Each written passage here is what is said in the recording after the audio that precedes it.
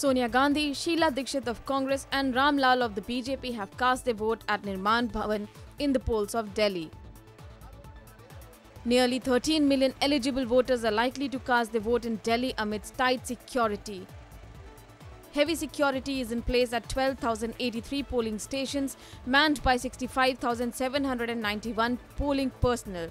Of the 70 assembly constituencies that are being contested, 58 are in the general category and 12 are in the scheduled caste category. A total of 673 candidates are in the race to get elected to the 70 member Delhi Assembly. Powered by NNIS.